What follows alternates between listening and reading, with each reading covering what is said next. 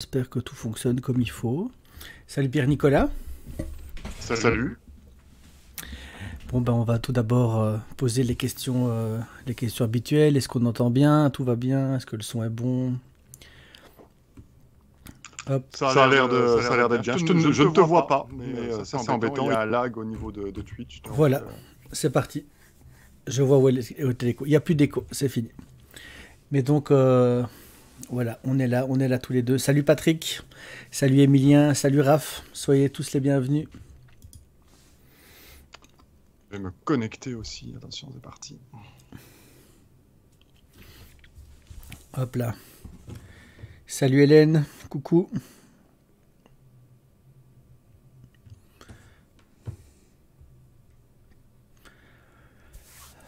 Bon, tout a l'air... Euh, tout a l'air tip top. Salut Sophie. Bonjour Sophie. Je me tiens, je, ne connais pas ce, je ne connais pas ce, ce nickname. Salut Lydie. Ah ben voilà Lydie. Euh, welcome, bienvenue. On laisse un petit peu, euh, on va laisser un petit peu les gens tout doucement, tout doucement arriver. Euh, voilà, tiens, j'ai choisi un petit décor pour. Patrick Mascar qui nous dit super décor PN. Et ouais. Mais, merci euh, Patrick. Je vois que tu es un connaisseur. Mais euh, mets un petit commentaire euh, là dans la, dans la boîte. mais donc, euh, donc le, petit décor autour, là j'ai choisi un espace genre coworking comme ça un peu, un peu vert, mais coworking parce que c'est là qu'on se connaît. Donc, mais si je te ferais coucou sur Twitter. ah. C'est bizarre, mais tu peux me faire coucou ici. Hein. Mais donc Sophie, sois la bienvenue. Euh... Ben oui, Patrick, quel plaisir. Patrick aussi, ben Pierre, Nicolas et moi, on s'est rencontrés euh, à l'ICAB, euh, au Beta Cowork. Et Patrick aussi, et Patrick était pas très très loin. Donc on aura aussi l'occasion un peu de, parler de ça. Beaucoup de verres, ça, ça, n'étonnera pas les habitués. Non. Non, non, ben, quoi, un peu de verdure en ces temps. ça manque un peu de verdure chez moi. Euh, alors, salut. Ah ben voilà, il est aussi dans le chat euh, Into the Minds. Il est partout. Il, est partout. il, est... partout. Alors, euh, ben donc voilà, tout doucement, les gens, les gens vous arrivez hein, les uns après les autres. N'hésitez pas à vous, à vous signaler dans le chat. Là, vous êtes 14, 15, donc n'hésitez pas à faire un petit coucou, savoir qui est là. Salut Tanguy. Au revoir. Eh ouais. Au revoir déjà. Tanguy, c'est le c'est mon meilleur troll. Euh, c'est mon troll préféré dans le chat. J'ai parfois du mal à savoir quand il est au premier ou au deuxième degré, mais il est là. Alors, ben donc, euh, tiens, Pierre Nicolas, tu, es en, en sweatshirt? Ça doit être une, des rares fois dans ma vie. Euh, ah ouais. PN, il est toujours tiré à quatre épingles, euh, en, mode un peu euh, euh, costume sur mesure, la petite, la petite, le petit foulard qui dépasse, toujours, enfin, nickel. Ah ouais, et donc là, ça fait un an qu'on est à la maison, qu'on est en survette et en, et en hoodie, donc je me suis dit, je vais rien changer pour toi. Ah non, non, mais il est parfait. Là, vous avez vu, il s'est mis plus aux couleurs de Twitch que moi. Là, il y a la petite couleur bleue, le petit, euh, le petit mot violet, là. Ouais. Moi, je. Moi, non. Moi, je. Couleur... Il, va, il va falloir y réfléchir quand même un jour à la lumière derrière, mais pas pour l'instant. Exact, exact. Pas pour l'instant. Euh... Bah, tout doucement, c'est bien. Hein. ça monte un petit peu. Comment. Ouais, euh, comment... Tanguy, ouais, la pipistrello, ça fait, ça fait du bien. C'est. On est d'accord. C'est quoi la pipistrello? Euh, C'est ça ici. D'accord. Ah, là, là, Salut Groovebox. Coucou. Oui, là, la lampe, là, ok. Ok. Je ne rentre plus non plus dans mes costards avec les kilos emmagasinés depuis un an. C'est quoi, c'est quoi? Euh, De quoi on parle? Alors, une lampe, c'est la lampe ou l'abat-jour euh, C'est une lampe. C'est une lampe. Pas d'abat-jour. c'est tout en une fois. C'est une lampe. Euh, ça va, ça a été ta journée? Tu me disais que tu avais fait une grasse mat euh, aujourd'hui? Jusqu'à 6h ce matin, ouais. C'était la grasse mat. sinon, c'est 5 heures, entre, entre 4h et 5h chaque matin pour, pour bosser. Lucifi is now following. Coucou Lucifi. Euh, on en apprend tous les jours. Alors oui, ne vous inquiétez pas, euh, j'ai mon, mon Wizbot fait des... Euh, ah, j'ai mis plein de répliques de vieux films dedans. Donc voilà, pour, je me disais que pour accueillir les gens, un bon vieux film, ça fait toujours plaisir. bien, bon, on va, on va commencer, les gens arriveront un peu au fur et à mesure. Enfin, j'espère qu'il y en a d'autres qui arriveront. Mais donc, Pierre Nicolas euh, a le syndrome de 5 heures du mat, les early workers. Ouais. Ah ouais, mais je suis un, un couche-tôt. Tu te couches à quelle heure d'habitude? Ah, Juste après le Twitch. non, mais d'habitude D'habitude, ouais, juste après le Twitch. D'accord.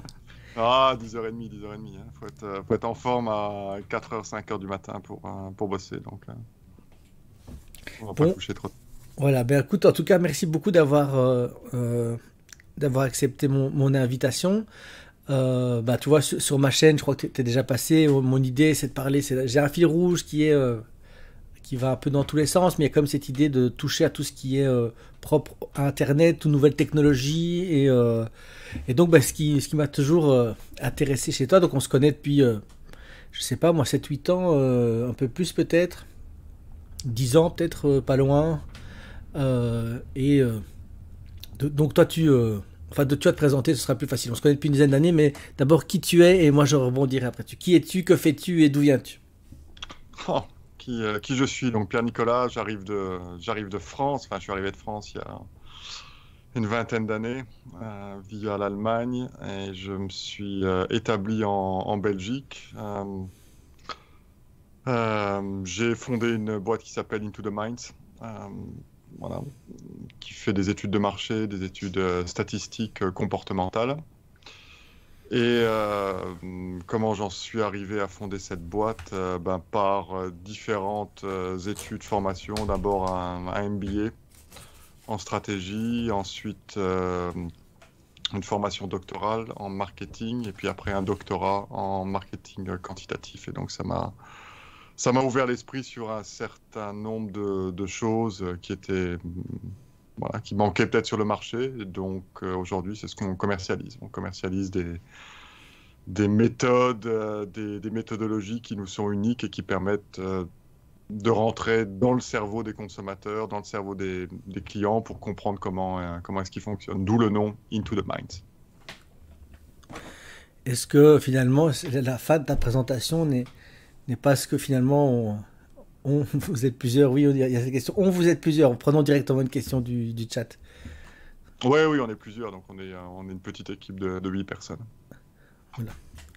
Et euh, la fin de ta présentation, c'est ça, nous rentrons dans, dans, le, dans le cerveau des gens. Est-ce que est-ce que c'est pas ça que on a beaucoup reproché au patron de TF1 là il y a, il y a maintenant c'est il y a plus de 30 ans, c'était de, ah. de, vouloir rentrer dans le cerveau des gens et donner du temps disponible aux, aux, publicitaires. Est-ce que c'est pas, est-ce que c'est ça que tu fais aussi?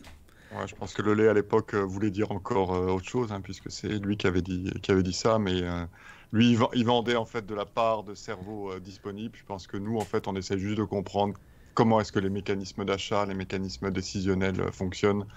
Pourquoi est-ce qu'on achète telle marque au supermarché? Pourquoi est-ce que telle entreprise va acheter tel service, tel, tel produit? Donc, c'est un un peu différent. C'est pas, pas exactement la même chose, c'est pas la même optique. Hein.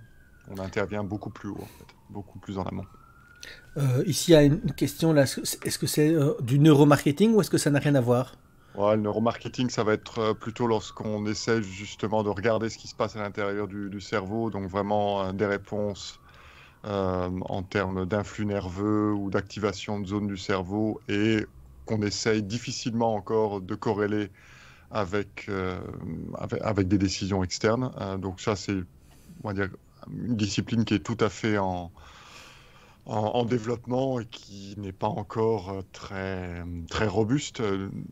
Nous, on se base plutôt sur, d'une part, des techniques qui sont beaucoup plus anciennes, des techniques qu'on appelle qualitatives, aussi des techniques quantitatives de type sondage, et de plus en plus sur des modélisations statistiques qui sont ancrés dans les données, donc dans les traces numériques qu'on va laisser. donc typiquement dans les cookies, dans les comportements d'achat, donc les cartes de fidélité, etc. Pour certains retailers, comprendre ce que les gens achètent à comment les gens pensent, comment les gens réagissent à travers euh, leurs achats. Donc c'est pas du neuromarketing, on va utiliser uniquement des moyens indirects et on va, on n'essaie pas de rentrer dans le cerveau de manière directe en observant ce qui s'y passe. On essaie juste à travers ce qui est euh, dit par ou ce qui est fait par les par les personnes, par les individus, euh, d'inférer, donc d'essayer de déduire quels sont les mécanismes décisionnels qui sont à l'œuvre.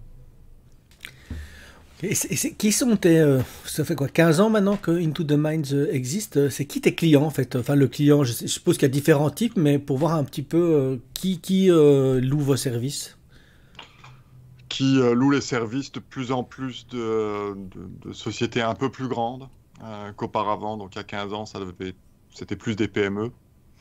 des porteurs de projets. Aujourd'hui, c'est moins des porteurs de projets parce qu'on a moins de temps malheureusement à y consacrer et plus euh, des sociétés de plus grande taille.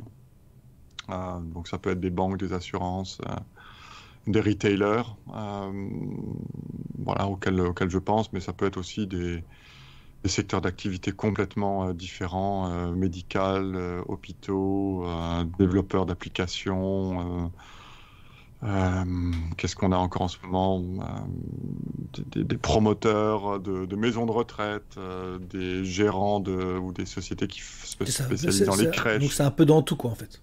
C'est dans tout, en fait, puisque de manière générale, tout le monde veut avoir de la croissance, tout le monde veut gagner plus, et donc tout le monde se pose les mêmes questions, à savoir qu'est-ce que veulent mes clients, qu'est-ce qui va les intéresser demain, comment je fais pour leur vendre plus ou tout simplement pour euh, augmenter ma part euh, de marché, donc aller chercher des, clients ailleurs? Ça, c'est vraiment les questions qui, intéressent tout le monde. Et donc, euh, on va appliquer les techniques qu'on connaît, qu'on maîtrise à un ensemble de, secteurs, n'importe lequel, mais toujours en étant très factuel et très rigoureux au niveau des méthodes. C'est vraiment ça qui nous distingue. C'est vrai qu'avec euh, donc donc on s'est, je disais tout à l'heure, donc Pierre et Nicolas, on, s'est rencontrés euh, à l'ICAB. L'ICAB, c'est un bâtiment à Bruxelles euh, qui est qui héberge l'espace de coworking où où ça fait plus de dix ans maintenant je suis, enfin dix ans, non, ça fait un an que j'y suis plus, mais où d'ailleurs on se croisait. Enfin, par moments plus, d'autres moments moins. Il y a Patrick dans le chat qui lui aussi était dans à l'ICAB un temps avec avec sa société de, de drones. Voilà. Euh, d'ailleurs, euh, j'ai souvent, j'ai quand même vu de temps en temps tes équipes travailler avec un, souvenir euh, assez comique de, je ne me rappelle plus de son nom, mais euh, Alexandre, qui, Alexandre qui faisait qui faisait tester des, des bouteilles d'eau euh, à, des gens et donc ils étaient là en bas. C'était assez drôle. Les gens devaient ouvrir et fermer des bouteilles et donc voilà, c'était pour c'était pour une, étude de marché. Mais donc c'était assez drôle parce qu'on l'a vu, ça a duré quand même un temps. C'était vraiment donc là c'était l'étude de, de l'étude qualitative, hein, donc. Euh, d'ailleurs, on, on, allait choper les bouteilles d'eau ouvertes après, évidemment. Mais donc oui, oui et ça va, ça, va, c'est vraiment de, tout au tout. Je sais qu'il y a eu, euh, enfin, on a à un moment on a goûté des chocolats, des choses. Enfin, il y, a, de tout. Hein. Il y a des histoires aussi. Il y a tout. Il y a de tout. Alors, on va dire que pour euh, tout ce qui était chocolat, donc ça c'est des choses vraiment très très classiques en fait où on, on essaie de comprendre juste les, goûts. en tout cas, on essaie de valider euh, les goûts. Mais pour les bouteilles d'eau, c'était beaucoup plus cocasse puisque ici c'était euh, c'était vraiment très sérieux. Il y a une nouvelle directive, un nouveau règlement de l'Union européenne qui va interdire dans, deux ans maintenant, dans trois ans, que les bouchons soient détachables, donc qu'ils puissent être détachés de la bouteille, donc ils vont devoir rester euh, solidaires. Donc, bien entendu, euh, vu les milliards de bouteilles d'eau qui sont consommées, qui sont produites chaque année, eh bien, il y a des grandes interrogations au niveau industriel sur comment est-ce que j'arrive à garder le même niveau de confort au niveau du, produit, tout en respectant la réglementation. Et donc là, on a été effectivement obligé de faire toute une série de tests sur des designs nouveaux, sur des matières nouvelles. Et donc, ce qui est assez passionnant, c'est qu'on voit, euh, ou en tout cas, on sélectionne, on valide des produits euh, trois ou quatre ans avant qu'ils arrivent sur le marché et de, voir l'impact qu'on peut avoir sur un produit que des milliards de personnes vont consommer, c'est assez euh, satisfaisant. Hein. Et donc, ben voilà, donc ça c'était quand même un peu pour, pour présenter, euh, pour présenter euh, ben, ton activité. Et donc, euh, il y a quelque chose qui est, qui est particulier, c'est que tu, tu, as une activité maintenant depuis 15 ans pour laquelle tu n'as jamais dépensé d'argent en marketing, veut dire e-, externe, c'est-à-dire que tu n'as jamais, dis-moi si je me trompe, mais dans mon souvenir, tu n'as tu n'achètes pas de publicité, euh, tu n'as jamais fait de Google Ads, ni de Facebook Ads, ni euh, je pense que tu n'avais, là je suis plus certain, mais je pense que tu m'avais dit aussi que tu n'avais même jamais fait de, flyers ou de choses comme ça. Jamais, jamais. Donc j'ai jamais démarché un seul client, j'ai jamais appelé, j'ai jamais fait de cold calling, rien du tout. Euh, non, en fait, voilà, depuis 15 ans, j'attends que les demandes viennent et elles viennent. Elles sont venues un peu moins pendant la crise, mais là elles reviennent euh, à, fond. Donc c'est bien la preuve que l'inbound marketing, puisque c'est de ça qu'on va parler, euh, ça fonctionne. Et euh, c'est ça qui nous permet de, grandir et d'avoir un flux d'affaires suffisant pour, bah, pour, toujours être en croissance depuis, depuis 15 ans. Maintenant, c'est un travail de tous les instants. c'est beaucoup de, de boulot. Collègue Lorraine en sait quelque chose, puisque c'est aussi elle qui, s'y colle de temps en temps, euh, même plus, euh, plus souvent que moi maintenant. Mais donc, là, hop. Euh, mais donc, tu as, voilà, donc tu as Into the Minds depuis, qui est ton site internet, qui est vraiment le cœur de, ton marketing. C'est ton site. Donc, tu n'as jamais, en fait, en gros, ben, c'est ça le, thème, c'est que le, tu as en fait un, un, site, un site web depuis 15 ans qui est ton apporteur d'affaires. Voilà, c'est ça, c'est exactement ça. Donc en fait, le, site est la vitrine, mais euh, derrière le site, je pense que si tu cliques sur l'onglet blog, le, site, en lui-même est euh, bon, on l'a étudié pour que les clients, euh, en tout cas les prospects, se sentent en confiance. Maintenant, le, SEO est donné par tout ce qui est derrière, et derrière, c'est des milliers de pages. Voilà, exact. Donc c'est le, le blog. Pourquoi Donc, ça veut dire que même au début, tu n'as pas fait comment, on va dire, euh, au commencement, comment tu t'es dit, tiens, voilà, moi, ce que je vais faire, c'est que je vais tout miser sur mon blog? Comment, il y a 15 ah, ans, comment tu t'es dit ça? Ah, Je me le suis pas dit, puisqu'il y a 15 ans, quand j'ai démarré euh, le, blog, c'était juste, euh, en plus, c'était sur une plateforme de blogging séparée, ça s'appelait Blogger à l'époque, ça existe encore. Hein, c'est ça, c'est la plateforme de, de, de, Google, ouais. Voilà. Et non, à l'époque, c'était juste, on va dire, un moyen de, me divertir, de juste de mettre en fait par écrit des choses qui me passaient par la tête. Donc c'était plus comme un, comment je vais dire, on dit en anglais, on dit un diary, on dit un, journal en fait. Voilà, c'est, alors c'était pas un journal intime parce que euh, il y avait rien d'intime dans ce que je racontais, mais c'était plus un journal pour euh, exprimer mes idées sur euh, sur la toile. et au fur et à mesure, en fait, ça, ça a fonctionné. Ça m'a donné aussi une, la possibilité ou l'opportunité de développer une discipline d'écriture, euh, une discipline qui est euh, euh, au cœur en fait aujourd'hui de, du, succès du, blog et du succès du site, puisque s'il n'y a pas de discipline d'écriture, il n'y a pas de contenu régulier, s'il n'y a pas de contenu régulier, il n'y a pas de bon SEO, s'il n'y a pas de bon SEO, il n'y a pas de trafic. mais donc pour en finir avec ta question, il n'y avait pas d'intention, c'est juste qu'à un moment j'ai vu que ça fonctionnait, et que euh, lorsqu'on a voulu passer à la, vitesse supérieure, on a pris le blog qui était sur une plateforme externe, on l'a mis en dessous du site. Et donc là, euh, j'ai vraiment fait un gros effort en termes de, contenu, en termes de, euh, en termes de, fréquence de publication, et c'est comme ça que ça a fonctionné.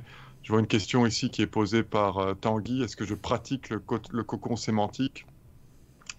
Alors, on, on, peut dire qu'à la, je, le pratique, mais euh, sans faire exprès, un peu que je suis le monsieur Jourdain du, cocon sémantique. Donc, euh, ce qui est clair, c'est qu'il y a 3, 3 4 cocons sur lesquels euh, je travaille et ça s'arrête là. Mais c'est par la force des choses. En fait, je n'ai pas défini des cocons particuliers sur lesquels je devais travailler. J'ai juste réfléchi aux thématiques qui faisaient sens par rapport à mon activité et c'est sur celle-là que je travaille. On, y, reviendra, à mon, avis, après. Euh. mais donc, d'abord, euh, est-ce que tu pourrais, parce que dans le chat, d'abord, euh, salut, salut Ketchup, salut, salut José.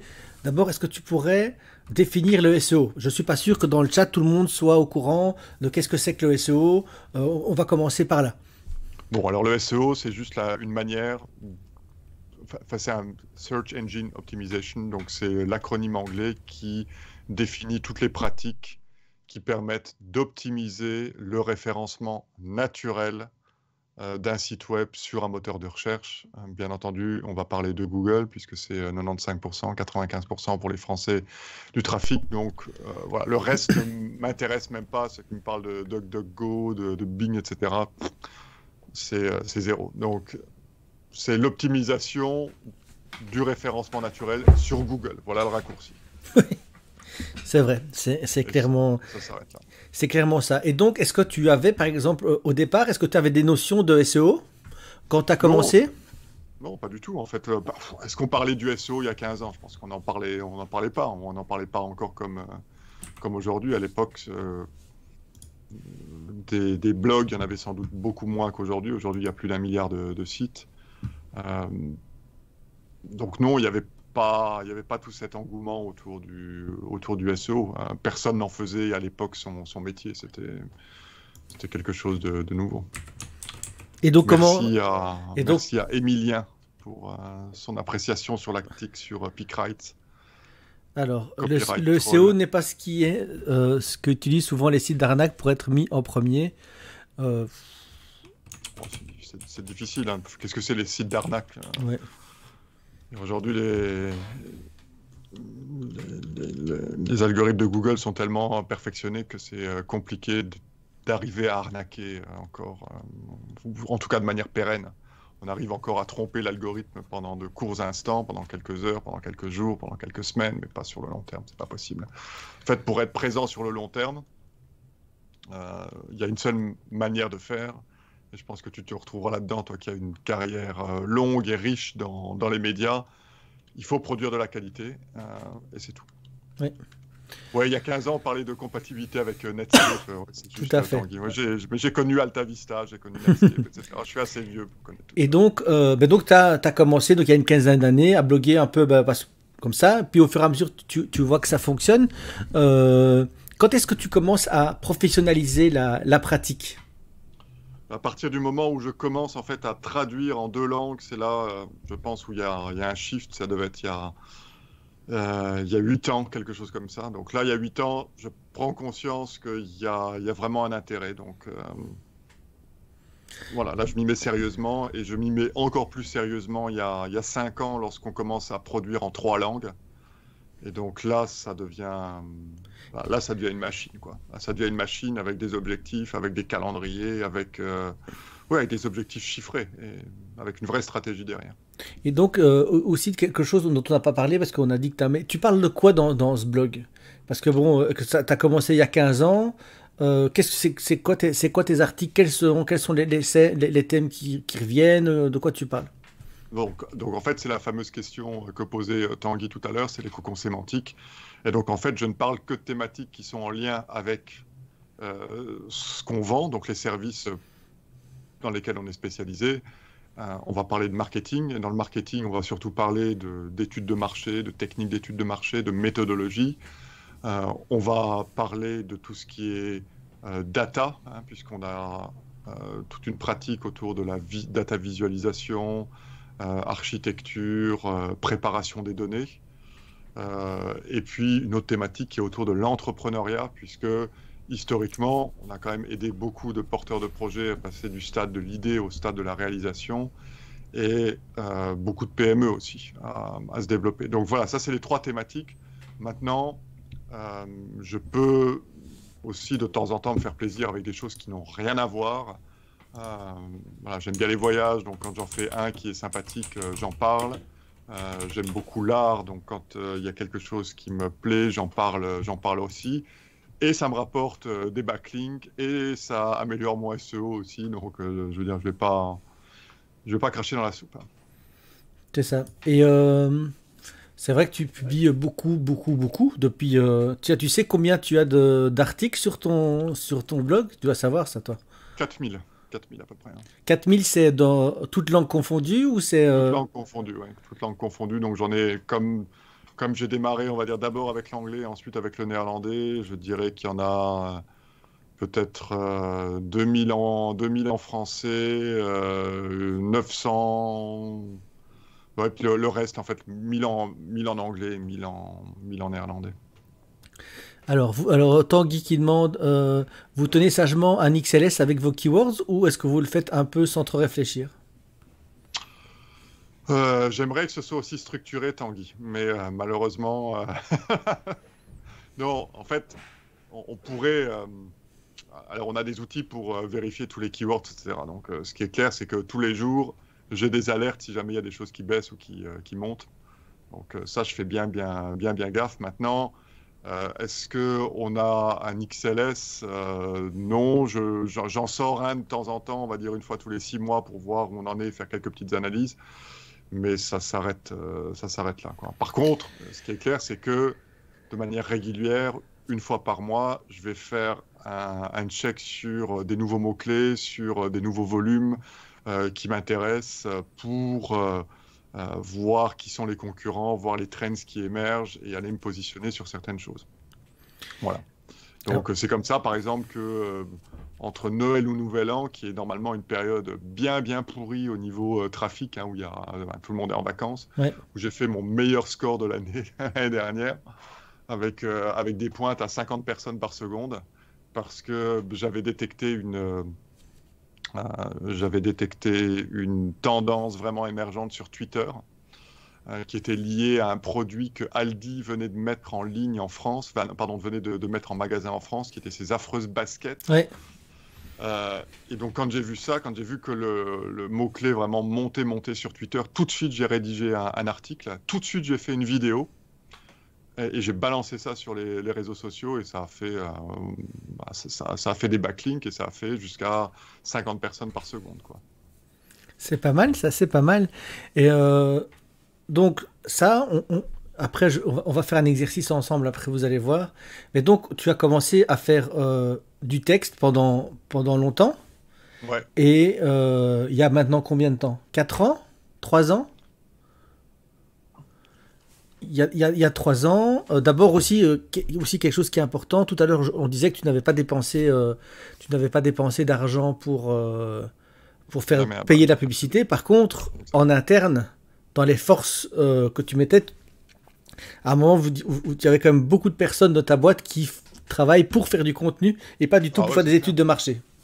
C'est clair. Donc tout le monde fait un peu de tout le monde fait un peu de contenu hein. C'est clair que moi je suis euh, 4 jours, 5 jours euh, par semaine chez des clients à travailler sur des projets. Le reste euh, donc euh, de 4h à 6h le matin ou à 7h le matin, c'est du contenu, le soir c'est du contenu. Aujourd'hui, voilà, pour ceux qui sont dans le chat et que ça va intéresser, on fait trois types de contenu. hein. Donc ça ça il faut aussi comprendre. hein. Depuis 2019, on a un podcast audio. Depuis euh, 2020, décembre 2020, on a aussi un vidéocast. Donc en fait, tous les podcasts qu'on fait sont aussi filmés et ensuite sont remontés euh, en vidéo. Donc peut-être que tu peux aller sur notre chaîne euh, ouais, suis YouTube et Ah montrer. euh, voilà, c'est euh, en HD, euh, c'est en 4K, c'est vraiment de la qualité très très euh, très très léchée. Euh, donc tu le retrouveras vraiment sur la chaîne YouTube. hein, ouais, Matt. j'arrive, j'arrive. Ah. Euh, donc en fait, il y a trois types de contenus. Et aujourd'hui, s'il y a bien une chose qu'il faut comprendre, c'est que euh, les contenus de ce type-là ne se cannibalisent pas. On a des contenus euh, texte pour les gens qui cherchent encore du texte, et puis euh, il y a d'autres personnes qui sont plus attirées par la vidéo. On a des contenus aussi pour eux. Et pour ceux qui euh, sont dans leur voiture, qui font leur sport, etc., on a aussi des podcasts. donc tout ça, contribue aussi à la constitution d'une audience, à la fidélisation aussi de, de l'audience. Et ça, c'est voilà, ça, ça c'est un travail de tous les jours. quoi. Où est-ce que je trouve le lien vers tes podcasts? Il est sur le Euh, site? Vers les podcasts, bah, tu, euh, là, si tu vas sur la chaîne YouTube, en fait, euh, les vidéocasts sont des podcasts. hein. D'accord, d'accord, oui. Voilà. Mais il faut aller sur la chaîne YouTube, hein, donc euh, sur, la, sur laquelle tu étais. Et donc, euh. Voilà, si tu remontes un petit peu, voilà, on en a, voilà, ça c'est un, ça c'est un bon exemple. euh, celui que j'ai fait là, le deuxième, euh, Celui-là deuxième dans la liste avec euh, avec Jérôme Tassi qui est avocat. euh, donc quelqu'un me parlait, Emilien tout à l'heure, parlait de mon article sur Peak Rights. Euh, et ben pour illustrer mon article sur Peak Rights, on a fait un podcast avec Jérôme qui est un avocat au barreau de Paris qui est spécialisé dans tout ce qui est propriété intellectuelle pour décortiquer ce cas-là et, et, expliquer. Donc il y a l'article, il y a, et en plus, il y a les chapitres vidéo qui sont tournés, qui permettent, euh, voilà, qui permettent à chacun de soit de rester plus longtemps sur l'article, soit euh, de trouver le contenu directement sur YouTube sans passer par notre site. Attends, et donc euh, on, se retrouve donc texte, puis tu as commencé à faire des vidéos, des vidéos en plus de, de, différents types, dont, dont une, je me demande a, je suppose qu'il y a, est-ce qu'il y a une playlist pour, ah ben voilà. Il y a, plusieurs playlists, hein, donc il y en a hum, en fait, quand, euh, en 2019 on a commencé à faire les vidéos, euh, euh, les vidéos étaient surtout faites pour, avec un objectif pédagogique. Donc c'était des vidéos de méthodologie d'une part, et puis il y avait un objectif pédagogique qui est purement familial, puisque j'avais mon gamin qui avait 9 ans à l'époque qui faisait des interviews de, de, business ah. leader, de spécialistes du business. Voilà, on en voit une ici. Donc là, Pierre Raphaël est à, 9 ans. Et euh, donc ça, c'est le pilote qu'on a lancé. Euh, Comme ça serait grand, je attends, attends, attends, on va l'écouter. Et comment faire pour réussir Je vais demander à mon papa qui est docteur en marketing. Et, donc là, attends, merde. Hop. Hop, reviens. Là, on est au, on est à l'ICAB, hein, donc ça c'était le. On est à l'ICAB. C'est ça, c'était le. Il venait le samedi, donc il avait d'ailleurs, avais engagé une réalisatrice pendant quelques mois pour pour tourner toute une toute une série de toute une série de vidéos. Et donc c'est vrai que le samedi vous veniez. Je me rappelle d'ailleurs, vous étiez très très ambitieux sur le nombre de vidéos au tout départ. On, a fait 19, on a fait 19 épisodes hein, jusqu'à jusqu'à ce que le Covid arrive. Non, non, je sais, mais je veux dire le, le, les premiers jours, le nombre ah d'épisodes que vous vouliez faire sur la journée, il y avait une ambition. Puis après, il a fallu changer. Alors, je prends un petit peu le chat avant de, reprendre là. Euh, je suis d'accord avec Pierre-Nicolas, il suffit souvent de faire de la qualité, puis se soucier vraiment de son lecteur. C'est une bonne SEO, en effet. C'est clair, ton guide, les analyses viennent juste me donner une priorisation des thèmes que j'avais de toute façon prévu d'aborder. Alors, il y a un match entre les invités chez Futur Media et ceux de chez Matt, dont je ne sais pas. Et alors, euh, Price qui dit Ah, il est génial euh, en parlant de, Pierre Raphaël. Alors, on, va, on peut l'inviter, on peut demander à Pierre Raphaël de venir. Hein. Il est. Ah, salut, euh, salut Audrey. Enfin, je sais pas si c'est Audrey. En fait, je suppose que c'est Audrey et qu'il y a un ah. jeu de mots. Euh. Ah, Pierre Raphaël. Oh là, t'as grandi. Ça fait longtemps que je l'ai pas vu moi. Euh, attendez, je vais nous mettre en plus grand. Hop. ça fait longtemps que je l'ai pas vu. Tu vas bien, Pierre Raphaël Oui, très bien. Cool. T'as quel âge maintenant? T'as 12 ans? 11 ans et demi. 11 ans et demi. 11 ans et demi. Eh ben, euh, ben voilà, on est en train de montrer une, une de tes vidéos euh, que tu as fait euh, avec ton papa. ouais, c'était, je crois que c'était la première. C'était la première. c'était, la première. C'est celle qui a eu le plus de vues. Hein. Je crois qu'on a 13 000 ou 14 000 vues. Quelque chose 17 381. Bah écoute, merci. Voilà. Donc ça, c'est cool. Quoi. Mais donc voilà, bah écoute, Pierre Raphaël, tu, tu peux rester, hein, bien sûr. mais donc, tiens, pourquoi ces vidéos avec, avec ton fils? Ben parce que c'était un projet euh, éducatif à la base, hein, donc euh, c'était une manière de, de, de, le faire rencontrer d'autres personnes, comme moi mes parents m'ont fait rencontrer aussi des, euh, des philosophes à une, époque, des artistes, etc. Et donc c'est une manière pour Pierre Raffaele de rencontrer des personnes avec lesquelles échanger des idées différentes sur des sujets différents, de s'intéresser aussi et d'apprendre des, des, matières ou des domaines qu'il ne connaît pas encore. Voilà. Et donc, c'est parti comme ça. Et ensuite, on a lancé une autre série euh, pendant le confinement qui est liée à, son intérêt pour tout ce qui est ordinateur et, euh, et data. Et donc, cette série-là, je pense qu'on a déjà fait euh, six épisodes. Euh, c'est visible aussi dans une des playlists. Ah Donc là, par contre, c'est sur fond vert, c'est avec euh, beaucoup plus d'effets spéciaux. Voilà, ça, c'est sur le, le data cleaning. Euh, c'était assez, assez rigolo. Voilà. Donc ça, c'est aussi. Et, le, data cleaning, c'est un choix que tu as fait toi-même, Pierre Raphaël, ou c'est ton papa qui t'a soufflé? Eh ben, on l'a on l'a décidé ensemble. Donc d'abord il m'a présenté euh, il m'a présenté le sujet, donc ce que c'était. Et après bah euh, j'ai dit oui pour ce sujet parce que c'était vraiment passionnant et donc euh, voilà donc on a tourné la vidéo. Alors au début c'était un peu difficile hein, parce qu'on devait réfléchir à comment on faisait, mais maintenant ça tourne tout seul quoi. Cool. Et donc là on en a combien Là? Il y en a 6 Ouais, j'en ai 6 et puis si je alors j'ai les autres qui sont en stock, il faut juste que je les monte. Et ça c'est le ça c'est le le, le problème hein. une fois que c'est tourné, après il y a encore plein plein de taf derrière pour euh, que ça soit monté mais euh, voilà, donc ça c'est un contenu euh, c'est un contenu plaisir, on va dire. C'est un contenu plaisir mais je lisais tout à l'heure qui est-ce qui disait ça? Tanguy de nouveau voilà, il suffit souvent de faire de la qualité voilà, ici, je pense qu'à partir du moment où on se fait plaisir avec le, contenu, que ce soit un contenu audio, que ce soit un contenu vidéo, eh ben, on triche pas. Quoi. À partir du moment où on prend du plaisir à, écrire, à parler, à tourner, ben, les gens vont le ressentir euh, derrière et c'est comme ça qu'on fait, euh, fait de la qualité. Mais écoute, pas mal. Hein. Donc, on, a dit du texte, des vidéos, des podcasts et aussi euh, des visuels. Il y a aussi ça qui a été à un moment à tes chevaux de bataille, qui c'était aussi une chose sur laquelle tu, euh, euh, tu, tu euh, as vraiment insisté à un moment. Ouais, c'était tout ce qui était image. Donc là, j'avais trouvé une bonne stratégie que je pourrais encore développer et dont on pourra peut-être parler un peu plus tard. C'est qu'il y a beaucoup de recherches qui sont faites sur les images et que c'est un domaine où il y a peu de concurrence. Et donc là, on avait vraiment travaillé sur le SEO des images dans le moteur de recherche d'images de Google. Je ne parle pas ici des alt text, etc., pour les gens les plus techniques euh, qui sont dans le, dans le Twitch aujourd'hui, mais vraiment sur euh, bien référencer les images et faire en sorte que les images amènent les gens à visiter le site web. Voilà. Et ici, on a une question pour Pierre Raffaellet de Far Ketchup qui demande euh, Ton papa était pas trop sévère durant les tournages? J'écoute pas bah, si, je vais écouter. Hein. bah non, mais il était peut-être sévère, mais je ne vais pas dire qu'il était sévère.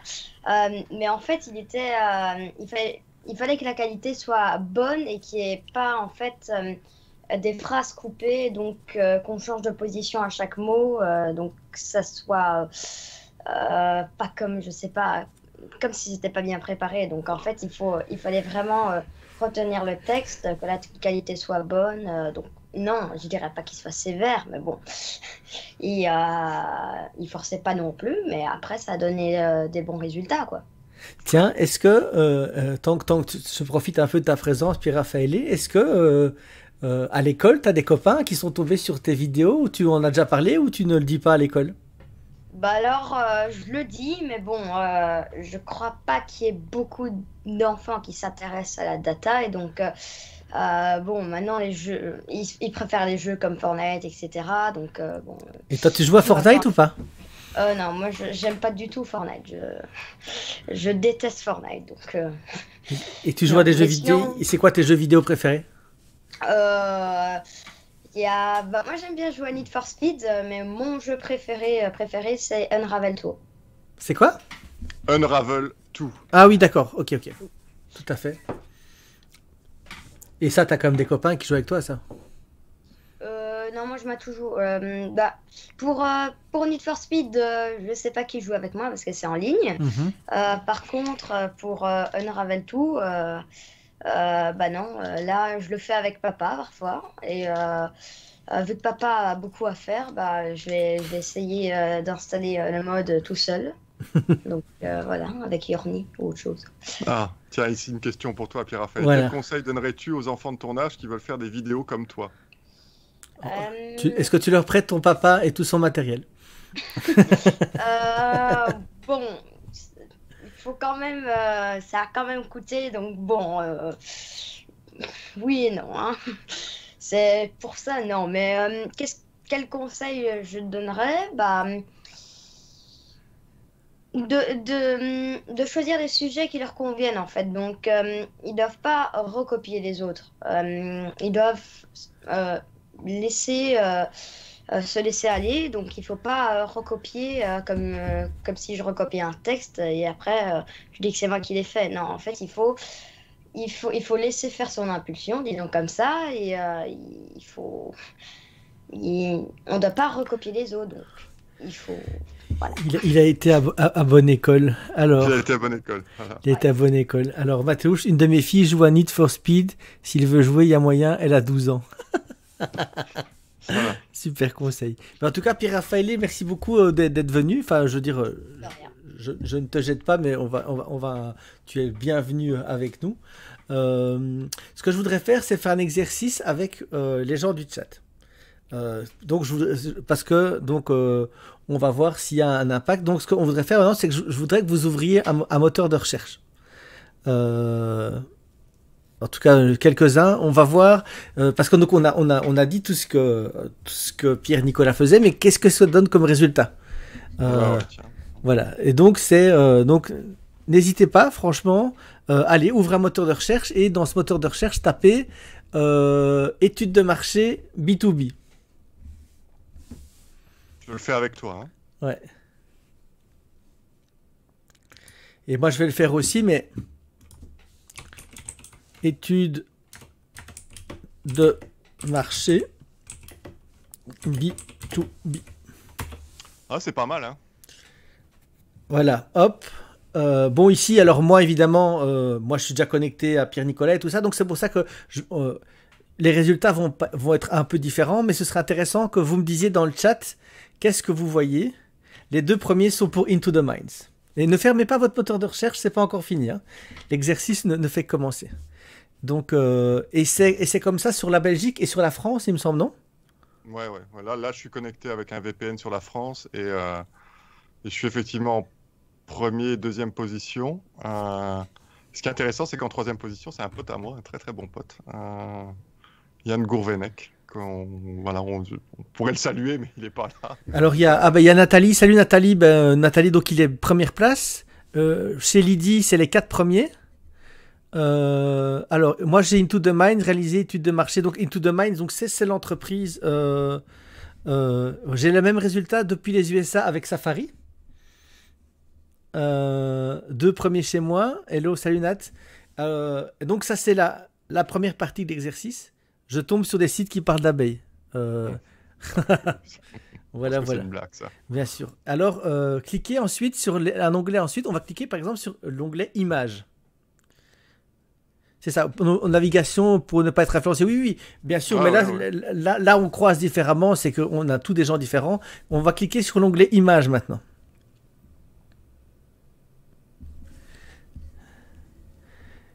Sur l'onglet images, moi j'ai du Into the Mind, Into the Mind, Into the Mind, 1, 2, 3, 4, 1, 2, 3, 4, 6, 6, 6, 6, et après il y a 10, 11. Euh, c'est ça, mais ici il faut regarder plus loin, il y a vraiment plus loin que la première place, il y a Into the Minds qui, qui trust euh, quand même, et quand on descend plus bas, ça continue, on en voit encore. Euh, et 7, euh, 7, sur les 8 premières places. Et alors, on peut aussi aller voir sur vidéo. Hop. Ah, pas mal. Sur il est en première, troisième. Euh, alors, il est même chez d'autres. là, le, là, il a. D'ailleurs, je me demande s'il y a définition marketing. On dirait que c'est une de tes vidéos. C'est toi ça? Attends, je la vois. Euh. Ou c'est une vidéo qu'on t'a piqué euh, C'est intéressant, non, je, le, je le vois maintenant, donc euh, je vais aller regarder. Intéressant. Donc c'est ça. Et ici en vidéo. Ah ouais, donc en fait c'est un, un, autre site qui a été MBD une vidéo à, nous. Top, top, bah voilà, fantastique. Donc c'est la preuve que quand on fait du bon contenu, bah, les gens le reprennent quoi. Voilà. Donc ici, donc là, vous voyez donc cette, ce dont on parlait, parce que c'est bien de raconter qu'on fait des choses, euh, mais euh, ce qu'on fait, le résultat de, de, 15 ans de SEO, fait de travail de contenu, euh, de contenu, ben, ça fait ça. C'est-à-dire que que ce soit le, le que ce soit pour la, partie donc texte, que la partie image et vidéo, on a, on se retrouve avec Into the Minds qui est en, en première position et moi, j'ai marqué B2B en plus. Oui, oui, alors après, euh, euh, il y a les variations, tout passe. Hein. de toute façon, le, tout, est, tout est englobé. Alors, euh, Pierre-Nicolas, tu dois écrire un, bouquin sur études de marché B2B et tu apparaîtras sur Shopping. ah ouais, non, mais en fait, il y a déjà un bouquin sur études de marché B2B. C'est ça qui est assez rigolo, c'est que c'est qu'il a été écrit je, vais le mettre dans le, chat en fait parce que euh, j'ai fait un livre blanc sur les études de marché en, B2B. Et donc, il y a vraiment un livre qu'on a optimisé aussi.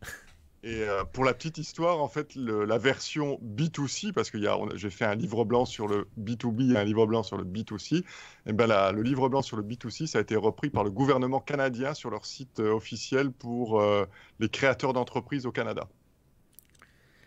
Voilà. Et, je sais très très bien comment est-ce qu'ils ont fait pour, pour tomber dessus. Et, et là, c'était le pur hasard, en fait. J'ai pas, pas fait gaffe, mais voilà, ça a bien marché.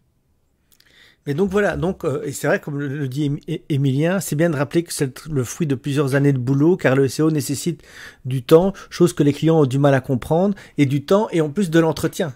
Euh, c'est pas, si on écrit un article il y a 15 ans et qu'on n'y touche plus, euh, si vous arrivez à avoir un concurrent euh, sévère qui arrive, il va vous redépasser. Comment est-ce que tu gères d'ailleurs ton, ben, tes articles? Est-ce que comment c'est quoi le travail d'entretien? Qu'est-ce que tu fais? Alors, euh, bonne question. Il y, a, il y, a, des articles en fait auxquels je ne touche pas. Et voilà, il y, a, des choses qui sont un peu mystérieuses dans le SEO, mais bon, j'ai un article en particulier qui rapportait, enfin qui correspondait, on va dire, à 2% de notre trafic. Un, petit article de, de 500 mots que j'avais écrit il y a plus que 10 ans et jamais touché. C'était sur euh, euh, l'intégration verticale. Euh, un truc que j'avais écrit sur un salon en France. enfin, vraiment, très, très curieux. il a toujours beaucoup rapporté. je l'ai mis à jour. il rapporte moins depuis que je l'ai mis à jour, donc c'était pas une bonne, une bonne opération. Mais sinon, pour, on met à jour beaucoup d'articles, mais on met pas à jour tous les articles. En fait, on regarde euh, les articles qui fonctionnent bien et on va surtout mettre à jour euh, cela. Donc, en fait, c'est euh, en gros la, vingtaine d'articles qui correspondent à 10 ou 15% de notre trafic. voilà, cela on les met à jour deux, trois fois par an. et la chose qui est intéressante quand même à, mentionner, c'est que lorsqu'on regarde l'ensemble de notre trafic, voilà, il y a une minorité d'articles qui correspond aussi à une petite part de notre trafic. Mais en fait, c'est vraiment une stratégie long tail et on a euh, bah, des milliers d'articles qui rapportent euh, quelques, quelques dizaines, quelques centaines de, vues par, par mois. Et c'est comme ça en fait que ça fait vraiment un gros gros paquet euh, à la fin. Donc, long, tail, long tail, pour ceux qui ne connaissent pas, c'est la longue traîne. C'est le fait de se dire qu'un article rapporte Aujourd'hui, il va peut-être faire 10 euh, vues, mais en fait, euh, sur 10 ans, il va peut-être en faire 20 euh, 000. voilà, sur 10 ans, il va en faire 20 000. Et donc, il y a des gens qui disent oh, c'est pas intéressant de s'intéresser à la longue traîne, etc. moi, je pense que si. Et en fait, le nombre de vues, on s'en fout. Quoi. Le, ce qui est important, en fait, c'est que l'article soit suffisamment ciblé, sur des mots-clés qui soient suffisamment ciblés que pour être sûr et certain que ceux qui viennent le visiter sont des acheteurs potentiels. Je vais prendre un exemple concret qu'on a eu avec un client pas, pas plus tard que la semaine dernière, vendredi. Un client qui est dans le recouvrement. Euh, et donc, on cherchait des, on cherchait des mots-clés, on cherchait des, des, contenus à créer. Et on s'est rendu compte que tout ce qui était autour de progiciel recouvrement, bah, ça pouvait être pas mal parce que ça correspondait bien bien à ce qu'il faisait. Sauf que progiciel recouvrement, lorsqu'on regarde dans les outils spécialisés, euh, ça fait 10 clics euh, ou 10 visites par mois. Il n'y a aucune concurrence dessus, ou très très peu, donc c'est assez facile de se classer. Et donc on pourrait se demander, est-ce que ça vaut vraiment le coup de dépenser de l'argent pour 10 visites par mois? Bah, Oui, parce que le, type qui va chercher progiciel de recouvrement, il a vraiment euh, l'intention de, s'intéresser au progiciel de recouvrement. On n'arrive pas sur une page de progiciel de recouvrement par hasard. Et donc, il y a vraiment un intérêt à le, faire. Donc, c'est pour ça que je dis, ça vaut le coup, même pour des tout petits volumes, d'avoir des articles très spécialisés parce que il y, a des, y a des gens qui cherchent des choses très spécialisées. Et ceux-là, quand ils sont prêts à acheter, il ne faut pas les rater. Alors, on a, c'est vrai, stratégie long tail. Est-ce que tu peux préciser? Donc, en gros, ça va être quand des articles sont optimisés. La long tail, c'est euh, lorsque je vais taper plus que trois mots-clés, en gros. Donc, c'est.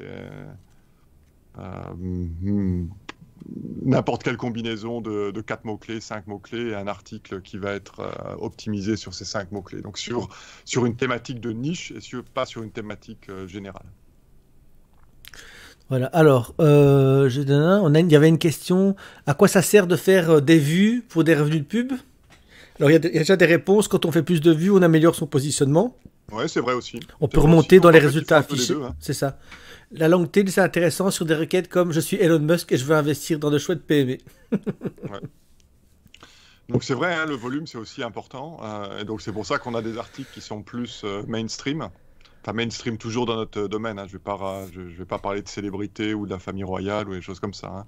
Mais euh, on a des articles en fait qui sont optimisés pour, pour deux mots-clés ou pour un mot-clé et pas pour du long tail. Et, donc là on en a. voilà, j'ai quelques, quelques succès intéressants où je suis passé devant Wikipédia sur des recherches qui ne sont pas de la longue traîne. Quoi. Pas mal. Euh, j'avais une question que j'aurais dû te poser plus tôt, mais que j'avais oublié. Euh, c'est quoi, euh, c'est quoi un bon article? Qu'est-ce, qu'est-ce qui fait un bon article? C'est quoi le, un peu les, clés C'est quoi le, qu'est-ce que, ce que les gens doivent savoir? Comment faire un bon article pour Internet, pour Google en fait? Comme je disais tout à l'heure, pas pour les moteurs de recherche, mais pour Google. Alors, il y, a, il y a 15 ans, on va dire qu'un bon article, c'était un, article où il y avait des mots-clés, le, le mot-clé qui se répétait souvent. Mais bon, ça, c'est fini. Euh, aujourd'hui, un, bon article, c'est un article que les gens lisent. Et en fait, ça, Google sait aussi le, détecter de la même manière que d'autres algorithmes, dont celui de, LinkedIn, euh, sait détecter. Donc, le temps qu'on passe sur une page, euh, permet d'inférer en fait l'intérêt qu'on a pour le contenu. Et plus on va rester longtemps, plus ça va, plus ça risque d'être intéressant. Et, voilà. Donc, en fait, il faut d'abord se concentrer sur la qualité du contenu. Il faut vraiment comprendre ce que les gens cherchent et euh, une même page, voilà, si on prend une, page qui fait 1500 mots, peut être euh, très inférieure à une page qui fait, euh, qui fait 200 mots. Aujourd'hui, nous, on est avec, avec ma collègue Lorraine, on se concentre sur des pages très très spécifiques en fait qui vont permettre de mettre à disposition des outils interactifs. Et c'est des pages qui vont faire 200 mots. donc il ne va rien avoir dessus, mais par contre elles vont être de très très haute qualité parce qu'elles vont répondre à une demande qu'on a très très souvent et euh, les gens vont être très contents d'avoir ces outils interactifs à leur disposition et je suis sûr que ça va faire un carton.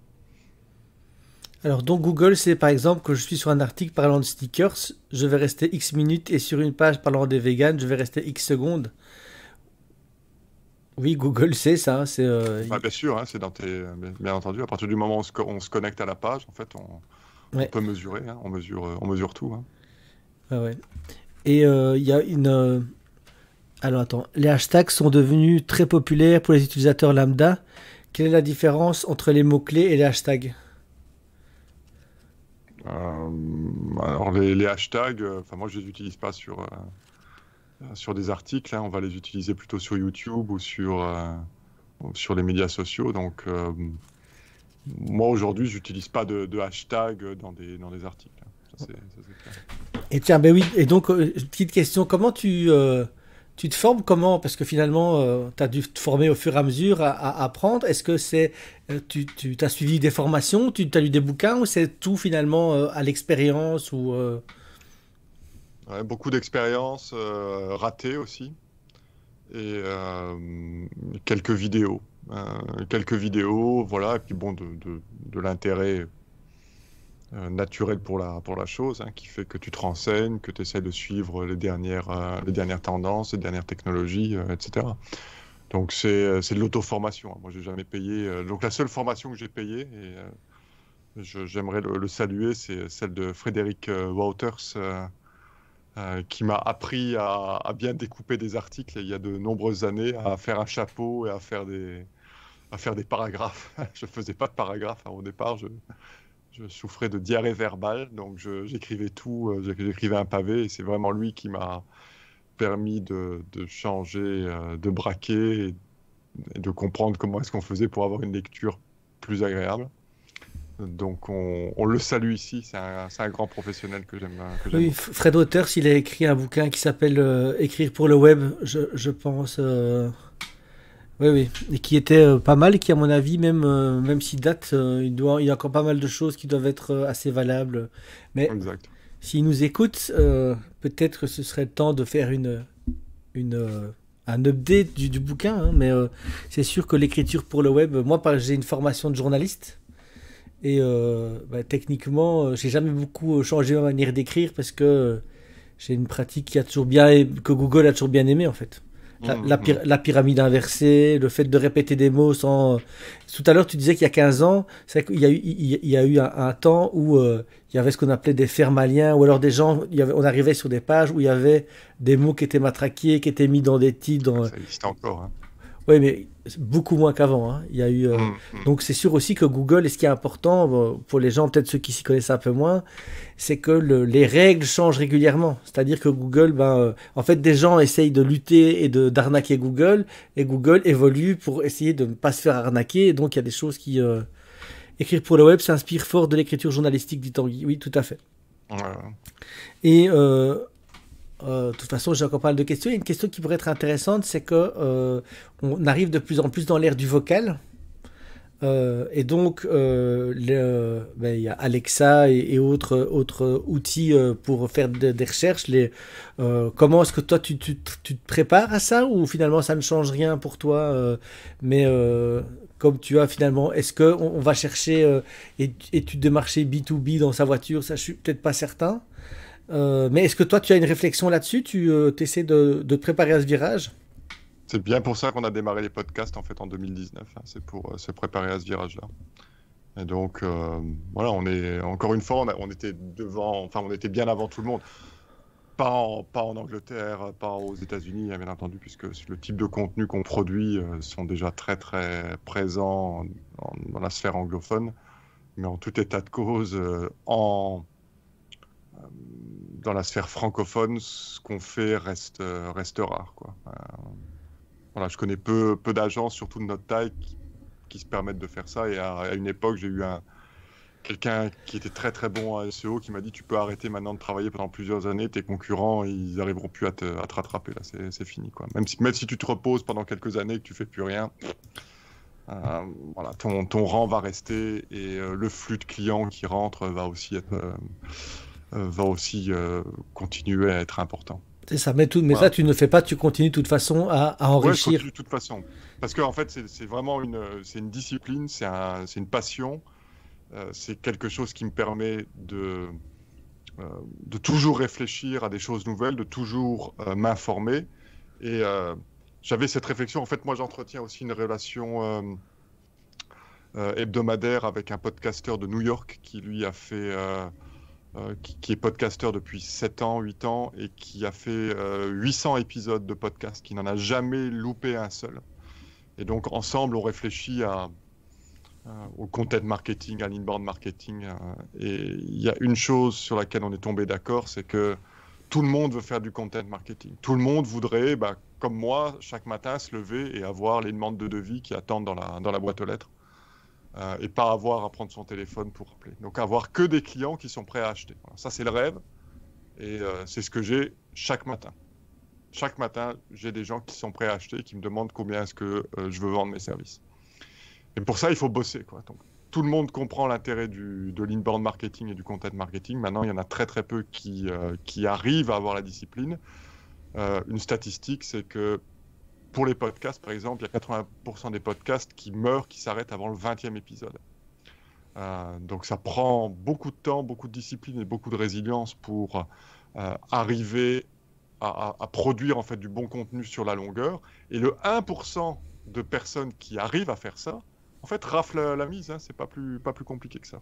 Donc si on arrive à, à durer, si on arrive à sur la longueur vraiment à être, euh, à, être consistant au niveau de, de, la fréquence et au niveau de la qualité, on rafle la mise. C'est aussi simple que ça.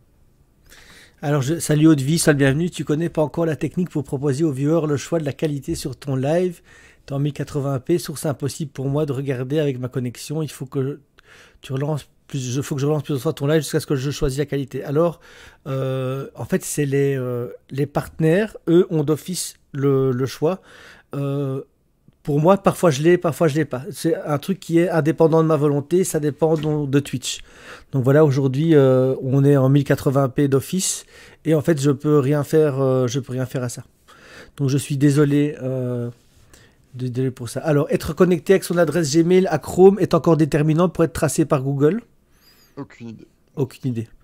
Euh, d'ailleurs, dans les, euh, ce, que je, ce qui pourrait être sympa, c'est euh, des, quelques tips comme ça pour augmenter son SEO. Mais il y a un truc qui m'avait, que je, auquel je n'avais pas pensé, c'est que par exemple, tu as, tu as ouvert une, une, succursale à Paris pour avoir une adresse en, France. C'est clair. Donc, en fait, pour et ça marche, hein, puisque en fait, on a, on a bougé toute une partie de notre chiffre d'affaires maintenant en France. avant, on faisait 95-95% de notre chiffre d'affaires en Belgique et maintenant c'est même pas 50%.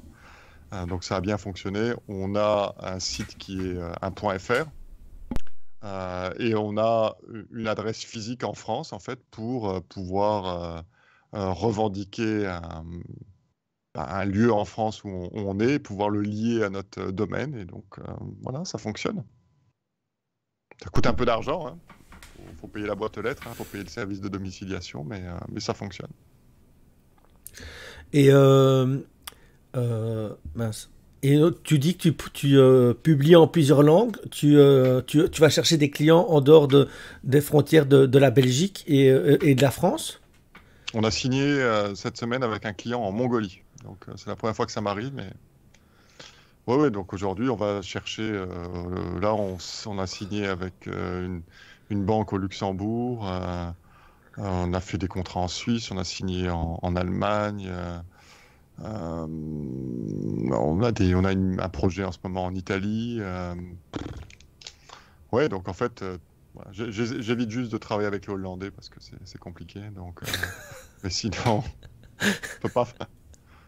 J'avais un client qui me disait si tu arrives à faire de l'argent avec, avec des Hollandais, c'est juste qu'ils ont oublié de t'arnaquer. Donc je. Je, me, tiens loin d'eux.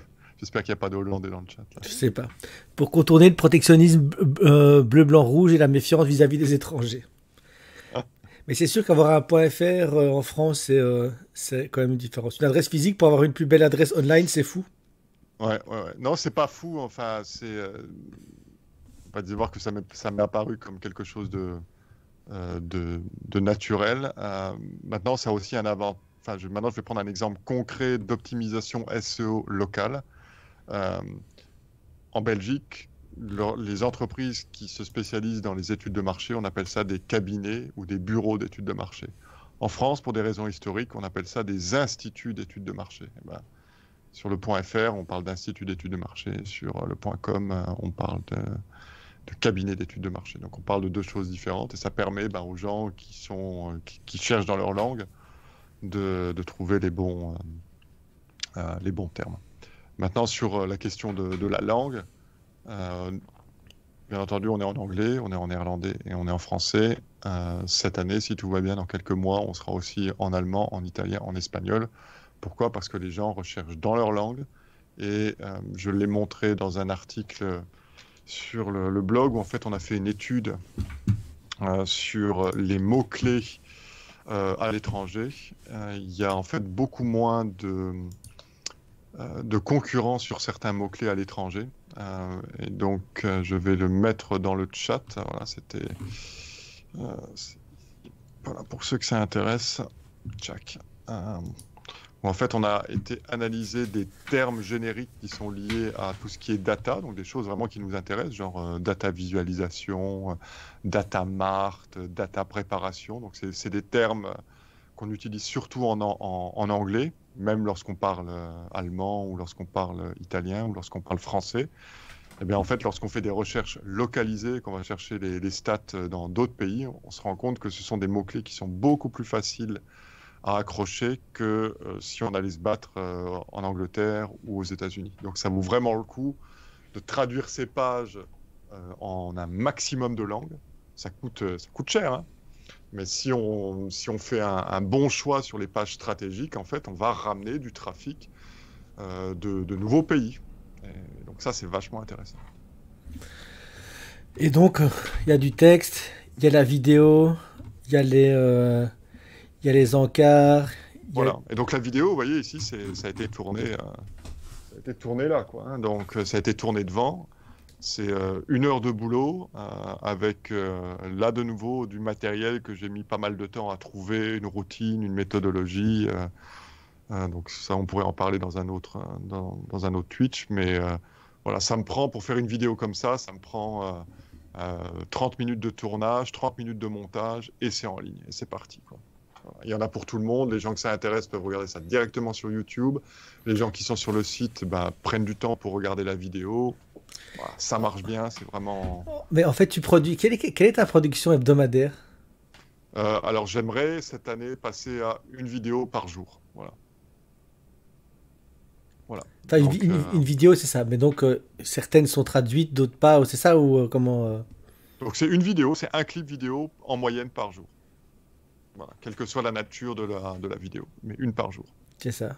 Et donc aujourd'hui, là j'y arrive. Hein. Aujourd'hui, euh, je sais pas combien j'ai publié de vidéos depuis le début de l'année, mais euh, à mon avis, une bonne, euh, une bonne cinquantaine. Quoi.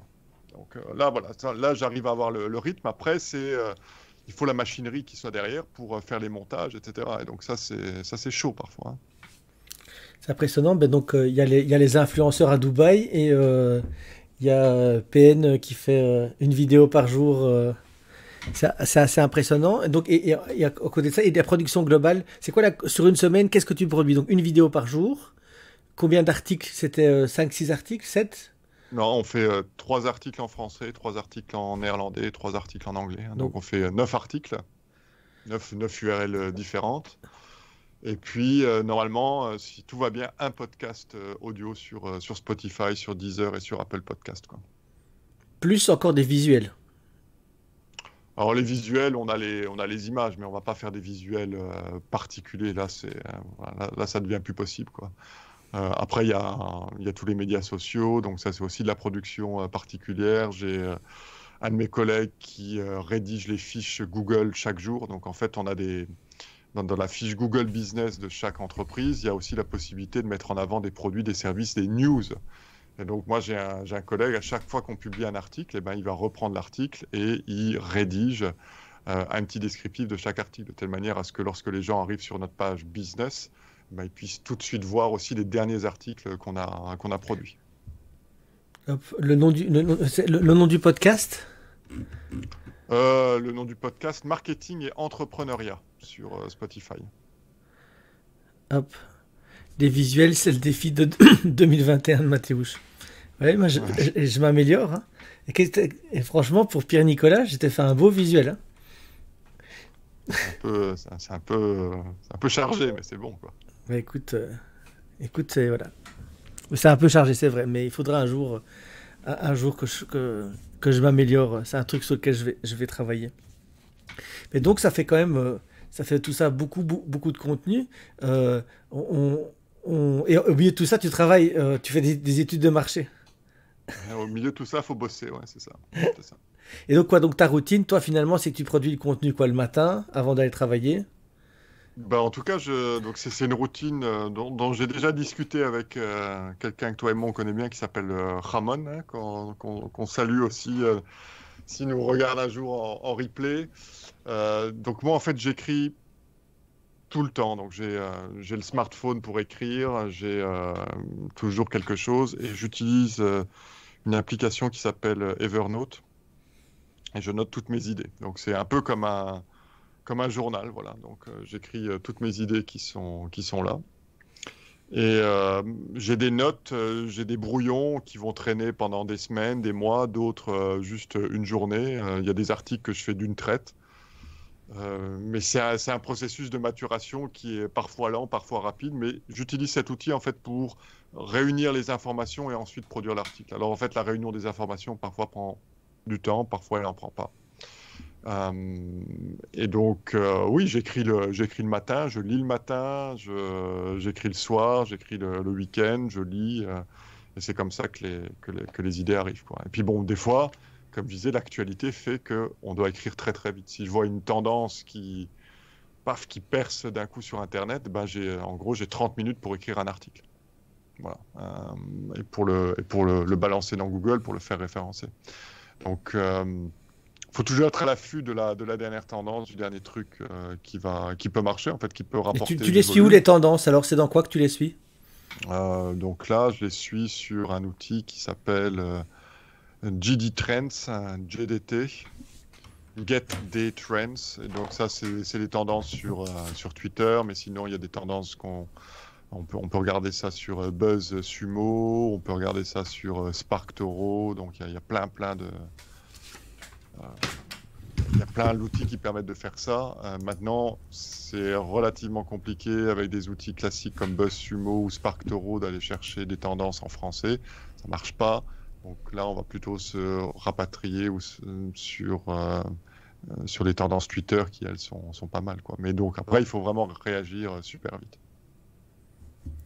Ben écoute, c'est intéressant. Est-ce que je me demandais, tu, maintenant avec ton, ton, ton, parcours, est-ce que tu, est-ce que par exemple, il y a, ben, comme j'avais dit, tous les X temps, Google revoit un peu son algorithme. Est-ce que toi, tu t'es pris des claques à certains moments avec des changements dans, dans l'algorithme de Google? Ou pas parce que tu as toujours bien travaillé et qu'au final, ça c'est, il euh, n'y a jamais eu d'impact? Non, non, parce qu'en fait, on a toujours travaillé très proprement, donc euh, on n'a jamais, on jamais fait des imbéciles avec euh, des techniques black hat ou des, choses comme ça. Donc pas de ferme de liens, pas d'échange de liens, pas de, voilà, tout ça, ça j'ai toujours refusé, même si voilà, dix fois par jour, j'ai des propositions pour, pour être payé pour mettre des liens. Donc ça, c'est hors de question. Donc je pense que ça, ça paye. Maintenant, pour ceux qui veulent monétiser leur blog, c'est compliqué hein, parce que c'est de l'argent vite fait. Hein. c'est euh, un lien, c'est 100 balles. Euh, euh, voilà, nous on a un, site qui a quand même un domaine rating de pas loin de, 50, donc ça commence à être. c'est quoi le Vas-y, explique un peu c'est quoi le domaine rating? C'est la, réputation de ton site. Hein. donc c'est une échelle, ça, dépend. Il y a chacun a sa méthode de calcul. Il y a euh, Mods, il y a Majestic, il y a Ahref. Euh, moi, j'utilise Ahref qui est euh, un service payant qui permet de monitorer son, site. Et eux ont une échelle qui va de 0 à 100. Donc, celui qui a 100, bah, c'est, pense que c'est Google. Enfin, c'est le, site numéro 1, c'est celui qui a le plus de trafic au monde. Non, c'est Facebook, pardon. Et puis, 0, bah, c'est quand tu, quand tu démarres. Quoi. Et donc, c'est une échelle qui est logarithmique. Et donc, c'est pour passer de, de, 0 à 10, c'est facile. Pour passer de 10 à 20, c'est deux fois plus difficile. Pour passer de, de, de 20 à 30, c'est encore euh, deux fois plus difficile. Donc, en fait, c'est toujours, euh, toujours au carré. Donc, pour arriver à 50, c'est vraiment, vraiment chaud. Donc, là, aujourd'hui, c'est là où on en est. Euh, mais tout ça pour dire que voilà, je pourrais monétiser le site et gagner 500 balles par jour sans rien faire. par contre, ça serait une stratégie à court terme parce que je perdrais, enfin, je risquerais de tout perdre euh, vite fait. Donc ça, je, ça, je, joue pas. Donc le PageRank, euh, oui, euh, Tanguy, c'est. Alors le PageRank n'est plus n'est plus publié par Google. c'est pour ça qu'il y a toute une série d'autres métriques qui ont été mises en place par des sociétés privées. Et donc ça s'appelle le DR chez Ahref. Mods a encore un autre un autre terme et Majestic aussi, mais en gros c'est en gros c'est ça quoi. Et euh, euh, autre chose euh, que je voulais savoir, tiens, dans, tes 15 ans, est-ce que tu as des, chouettes histoires comme ça, d'articles comme ça sortis un peu de nulle part qui, qui ont, je sais pas, popé de je sais pas dans quel pays, ou tu sais, quand on, quand on fait beaucoup, on a toujours des articles. Moi, moi, moi j'en ai d'ailleurs. je me souviens d'un que tu as et qui, qui fonctionne toujours bien. Hein. Ouais, Et aussi, moi, c'est c'est un jour Pascal Van Den Dries qui était donc, qui vient me voir, il me fait tiens, je cherchais à faire euh, un, accent, et donc il était sur Mac, il dit j'arrive pas à faire euh, un accent majuscule. Et en fait, il y a pas, il y avait pas sur Google. Il me dit ouais, vas-y, fais-le. Je fais ok, je l'ai fait.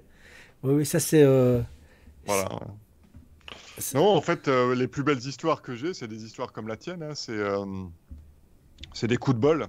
Alors j'ai en fait j'ai des histoires coups de bol et puis des histoires qui sont pas coups de bol des histoires qui sont vraiment euh, réfléchies. Donc les histoires coup de bol, bah, c'est euh, euh, clairement l'URL que tu as montré tout à l'heure, ou bien un article qui me rapporte beaucoup, qui s'appelle Combien coûte une étude de marché?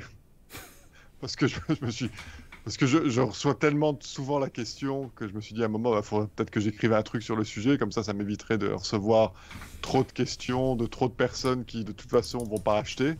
Comme ça, je fais le filtre. Et puis bon, il se trouve que c'est un des articles aujourd'hui, euh, c'est un article de 5000 mots. Euh, ce qui est, qui top. Donc pour ceux qui veulent dans le, dans le chat taper combien coûte une étude de marché et nous dire quels sont les résultats qu'ils obtiennent, ça m'intéresse. Alors vous pouvez le taper dans n'importe quelle langue, hein, que ce soit en anglais hein, ou, en, français. donc ça, c'est au rayon des histoires, on va dire, le hasard. J'ai une question. Est-ce que tu as aussi une politique de newsletter? Alors j'en avais une avant le GDPR. Avec le GDPR, j'ai tout remis à zéro et aujourd'hui, ça c'est clairement quelque chose que j'ai plus le temps de faire. Maintenant, on a relancé des abonnements à la newsletter l'année dernière, donc euh, je pense qu'il y a déjà 6000 personnes qui sont abonnées. Maintenant, je leur ai rien envoyé, pas encore. Dès que j'aurai le temps, j'enverrai quelque chose, mais je ne sais pas encore quoi. Euh, le... Maintenant, je vais donner un, secret. Euh, pour les 21 personnes qui sont encore là, elles vont, elles vont apprécier. Donc, il y, a moyen en fait de faire des gros coups sur, euh, sur Internet, des gros coups en termes de backlink et en termes de, domaine d'autorité, mais ça prend, du, ça prend du temps. Mais en tout cas, moi, j'ai trouvé une méthode euh, que j'ai mise en application pour la première fois en 2019 et en une semaine, bah, j'étais déjà en première page du soir. C'est pas mal. Alors en fait, le, secret, c'est de préparer des études. donc euh, c'est ce que un type comme Brian Dean, qui est aussi un consultant SEO bien connu, euh, appelle des articles épiques. Euh, moi, j'appelle ça juste des études. Donc plutôt d'écrire des articles en allant rechercher de la matière ailleurs, c'est vraiment de produire de la connaissance à partir de données qu'on a été chercher soi-même. Donc c'est compliqué ça prend vachement plus de temps. Euh, donc, une des premières applications, ça a été cet article que j'ai fait sur l'impact du RGPD euh, un an après son application. Ça a été repris par, euh, je sais pas, au moins, au moins 10 journaux, 10 magazines dans le, dans le monde. j'ai eu des articles en anglais, j'ai eu des articles en français, j'ai, eu, j'ai fait la première page du soir c'était des données qui étaient euh, tout à fait publiques, mais qui euh, il fallait il fallait vraiment vouloir aller les chercher parce qu'elles étaient euh, cachées, parce qu'elles n'avaient pas encore été publiées. Donc ça m'a pris facile six mois pour pour toutes les réunir. Et grâce à ça, j'ai pu faire une étude. J'ai pu faire des, une étude data avec des visualisations sympathiques. que même la Commission européenne n'avait pas fait parce qu'il n'y avait pas d'endroit et elle est où cette étude? Elle est, sur ton blog Ou elle est ailleurs? Voilà, donc si tu tapes euh, Impact euh, RGPD euh, Europe, je pense que tu vas tomber dessus. Ah non, statistiques RGPD Europe, un truc comme ça. Donc là, j'ai même pas, j'ai même pas cherché à, voilà, donc on tombe, on tombe directement dessus. Je mets le, lien ici dans le, chat pour que les gens puissent, puissent voir. Et donc c'est une, une, étude sur vraiment le voilà quel a été l'effet du RGPD en Europe. C'est la première fois qu'une étude comme ça a été publiée. J'ai publié toutes les données, j'ai tout mis sur euh, enfin les tableaux interactifs, tout a été mis. Donc c'est pas un article qui était excessivement long. Euh, mais c'était un, article qui était excessivement novateur parce que c'était des données nouvelles. Et donc en fait, le secret, c'est ça, c'est d'arriver avec des données nouvelles. Et donc j'ai répété ça, euh, cette expérience-là, il y a deux semaines en faisant un article sur les créations d'entreprises en Europe. Parce que je lisais beaucoup de conneries dans les journaux, même, les journaux économiques, euh, le Times, pardon, le Financial Times notamment, qui écrivait que le Covid avait boosté la création d'entreprises. Donc si tu repars maintenant sur la... Ici? Non, le Covid n'a pas eu. Voilà, c'est ça, exact. Non, le Covid n'a pas eu. Et ben voilà, la RTS en Suisse a fait un article sur moi, la RTBF a, publié un long article et a fait une, euh, capsule euh, en radio sur la première. Et quel est, quel est l'impact sur le, Parce qu'on parlait de SEO, il y a un impact? Alors euh, l'impact, je le verrai là dans quelques, dans quelques jours, dans quelques Mais quel, quel a été l'impact alors sur, sur l'étude RGPD alors? Alors, bah, c'est quelques points gagnés en, ranking, hein, tout simplement. Euh, c'est des liens de qualité. Donc, pour ceux qui sont là et qui, euh, qui connaissent un petit peu le, le, SEO, bah, j'ai récupéré des liens qui avaient des domaines ranking euh, de, de malades, quoi. Enfin, supérieurs à 80. C'est ça. Voilà, ça, c'est des trucs que tu peux pas, tu peux pas payer des choses comme ça. Ça s'achète pas. C'est soit tu les as, soit tu les as pas. C'est ça qui fait la différence entre les losers et les winners. Hein, sur, je veux dire, ceux, ceux qui, qui vont chercher du, du, business sur Internet, tu as des liens euh, qui ont un domaine ranking de 80 qui pointent vers, euh, vers chez toi, tu es dans la bonne catégorie. Quoi. Si, Si pas, bah, tu te traînes à la fin. Alors, je vais d'abord, il y a euh, salut Pastèque, salut euh, Gérasimo. Alors, euh, ce que fait Xavier, Xavier, comme dit Emilien, il fait plutôt des études, il vulgarise et il fait, mais il fait aussi, de toute façon, c'est peut-être, c'est aussi le genre de truc qu'il fait aussi, hein, c'est collecter de l'information et, la, mettre au même endroit. Et clairement, Xavier Degros, pour tout ce qui est social media, ben, avec ça, il, se crée vraiment une notoriété, il est vraiment une référence en la matière. Donc clairement, en tout cas, c'est très très similaire, en tout cas dans la démarche. Alors, faut faire un live sur les chartes graphiques pour trouver conseils et inspiration. euh, oui, mais donc oui, c'est vraiment intéressant. Ça, c'est vrai que le côté, euh, bah, de toute façon, euh, ce qui, ce qui correspond à, à beaucoup de choses. Qu'est-ce qui ressort en filigrane C'est que quand on fait du bon contenu, on gagne. Content is king, quoi. Il n'y a rien à faire. Hein. On fait du bon contenu, les gens viennent, les gens reviennent. Ça, c'est le premier secret. On, fait du contenu euh, à intervalles réguliers, donc en gardant la fréquence, les gens vont revenir et on va être euh, bien ranké. Parce que voilà, quelqu'un qui publie euh, une fois de temps en temps, Google va pas aimer. si on voit qu'on publie régulièrement, c'est quoi régulièrement, au-delà de toi qui a un staccanovis qui travaille comme un malade, euh, pour euh, quelqu'un dans le chat qui aurait une PME et qui se dit tiens j'ai envie de me positionner sur euh, les, thématiques qui sont autour de ma PME, qu'est-ce que quelle stratégie toi tu conseillerais donc dans un dans un monde où les gens ne se lèvent pas tous à 4 heures du matin et ouais, donc en fait ça va être une fois une fois par semaine minimum. Euh, donc ça, c'est vraiment le minimum minimum. Si on n'est pas capable de faire une fois par semaine, on commence pas. Et si on veut vraiment euh, faire de l'inbound marketing, donc vraiment faire comme moi, se lever le matin et avoir les demandes de devis qui attendent dans la boîte mail, euh, trois fois par semaine, c'est un minimum. J'ai fait un podcast avec quelqu'un que j'apprécie beaucoup qui s'appelle Pascal Asselin, qui a une boîte euh, assez top en, France qui s'appelle euh, Formalizy et donc qui aide les créateurs d'entreprises dans toutes les démarches euh, administratives pour passer en fait de l'idée au stade de la création. Et lui aujourd'hui tire 70% de son chiffre d'affaires d'internet et il publie un article par jour. Et, en fait il a vu l'effet en, six mois euh, il faisait 30% de son chiffre d'affaires sur Internet en, 2000, euh, en 2019. En 2020, il fait 70%.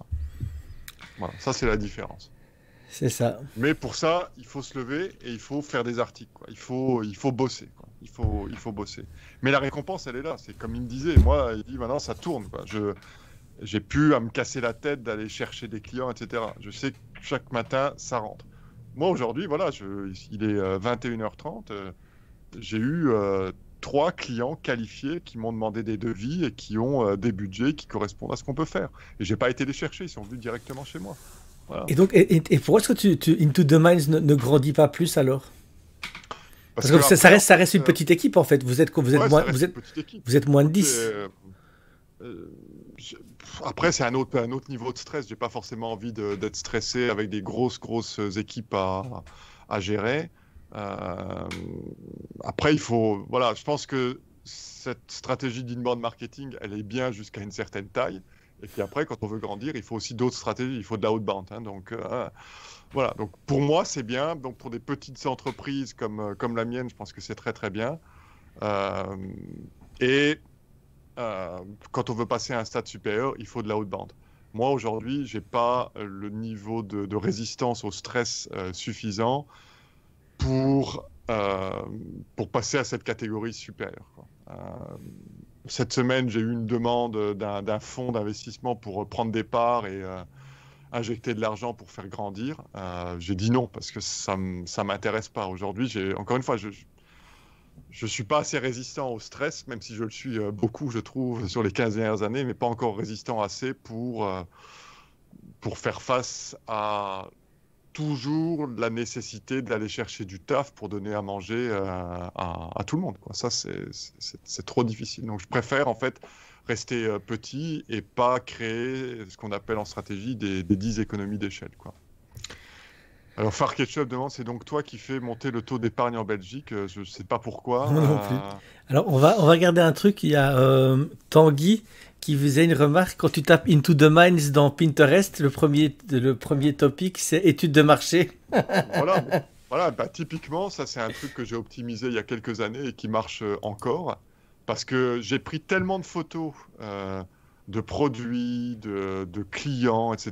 Je veux dire, quand on, fait des veilles retail. Donc, à un moment, lorsque c'était encore possible, j'allais une fois par mois à Paris pour rencontrer des entrepreneurs, pour rencontrer des retailers, pour faire euh, euh, des photos dans des concepts, euh, dans des magasins innovants que ma collègue Lorraine mettait en carte. Donc, on a une carte qui est un très très bel article aussi qui marche très bien, une carte des meilleurs concepts retail dans le monde. C'est une carte interactive Google. Et donc, bah, toutes ces photos, bien entendu, je les exploite, je les mets sur le site. Euh, et à un moment, je me suis dit, bah, je vais les mettre sur, sur Pinterest. Et puis, ça, voilà, ça, va, ça va vivre sa vie. Euh, Tiens, c'est justement, petite question. Euh, quel est le trafic Est-ce que Pinterest, ça drive beaucoup de trafic chez toi? Je pense pas, parce que quand je regarde en fait les médias sociaux, à part quand je fais quelques petits coups de buzz sur Twitter ou sur LinkedIn, comme c'est arrivé hier, euh, je veux dire que le trafic social média, c'est 10% maximum. Quoi. Donc on, a, on, a, 5% de gens qui viennent euh, direct, 10% de gens qui viennent vers euh, médias sociaux et sources diverses, et le reste, c'est c'est du trafic referral via Google. Quoi. Parce que je j'en parle parce que Xavier Degros, justement, qui est venu ici plusieurs fois dans mon live, euh, justement, il a, dans, dans, ses études, il y avait un truc qui était impressionnant, c'est qu'en Belgique, donc le trafic généré par les réseaux sociaux, donc numéro 1 c'est Facebook, et numéro 2 c'est Pinterest, avec 20% du trafic généré en Belgique qui vient de Pinterest. Ce qui est... Euh, après, c'est un site de, c'est, une ferme de liens, hein, euh, Pinterest. moi, je, voilà, moi, moi, je mets volontiers mes, mes photos à disposition, etc. Je ne suis pas dans une optique où j'essaie de protéger j'ai pris des photos, j'essaye, voilà, je, mets à disposition si ça fait plaisir à quelqu'un, si ça peut inspirer quelqu'un. Alors, euh, je reviens au chat. Euh, donc, il y a Gérasimo qui était là. Mais en gros, qu'est-ce qu'ils vendent? Ils vendent des études de marché. Voilà ce qu'ils vendent. Alors, en gros, tu es devenu le VRP de ta boîte et ce sont les autres qui produisent de la valeur, même si ton contenu est la vraie valeur. Alors, euh, je suis pas sûr de comprendre qui sont les autres qui produisent de la valeur. oui, mais en fait, c'est ça. Donc, Juste bonne question. C'est que vous êtes quand même, vous êtes quoi 7 ou 8 dans ta boîte? Un peu moins? Ouais, on est 8. 8. Hein. Et donc, ouais, et, euh, et donc finalement, c'est enfin, euh, quasi tout le monde qui produit le contenu en fait. J'avais déjà dit tout à l'heure, mais. Moi et Lorraine euh, en particulier. Après, pour toutes les versions anglaises, néerlandaises, mes collègues Jean-Pierre, Stéphanie et Renate, ouais, c'est eux qui produisent. Euh, donc tout le monde produit un petit peu de, contenu, c'est clair. Euh, et sinon, chez le client, il n'y a que toi Ah non, tout le monde est chez les clients. Ah oui, c'est ça, d'accord. Ah non, c'est clair, c'est tout le monde. Tout le monde fait un peu de tout. Hein. Il vend du vent, en somme. Ouais, bah écoute, c'est Gérasimo. Je sais pas si je vends du vent. Euh. Non, non, je vends pas du vent. Hein. On, fait vraiment, on fait vraiment des vrais trucs. Hein. Non, mais Gérasimo, c'est le, c'est mon, follow, mon follower qui est anti. Voilà, c'est euh, tout le monde. Y a, y a, à part lui, je pense qu'il n'y a personne de bien dans le monde. Et donc, c'est, je trouve ça, je trouve ça, voilà. Donc comme ça, tu sais, euh, il faut pas se, faut pas s'inquiéter. Il faut bien produire les études de marché pour le client, ouais. Ouais, je gagne, je gagne de l'argent, ouais, Gérasimo. Mais le jour où tu te lèves à 4 heures comme moi euh, chaque matin, tu, on, on, en reparle. Hein. Pour l'instant, pour l'instant, tu fais pas, tu fais pas comme moi. Donc, euh, moi, mes, 35 heures, je les ai fait en deux jours. Non, c'est pas, il faut pas, il faut, pas s'inquiéter, Pierre Nicolas, comme ça. Alors, production multilingue de base ou production en français avec des traductions? Non, non. Donc, en fait, c'est euh, production multilingue de base. Donc, euh, d'abord, il, il, y a quelques années, je faisais d'abord en anglais et ensuite je le traduisais en français. Maintenant, avec toutes les, comment je vais dire la nécessité de produire du contenu de plus en plus long pour euh, ranker sur la première page m'a fait changer ma méthode d'écriture. Donc aujourd'hui, j'écris en français l'article et euh, ma collègue qui est anglaise le traduit en, euh, anglais et mon collègue flamand le traduit en néerlandais. Donc c'est pas des traductions machines, hein, c'est des traductions mmh. à la main. C'est clair qu'on a une première passe dans, un moteur qui s'appelle DeepL euh, mais ensuite, c'est complètement revu à la main et je voilà, je peux juste pas supporter que ça soit pas parfait. C'est ça. Euh, Gérard Simon, on, va arrêter cette discussion, s'il te plaît. Euh, et donc maintenant, tiens, est-ce que tu as...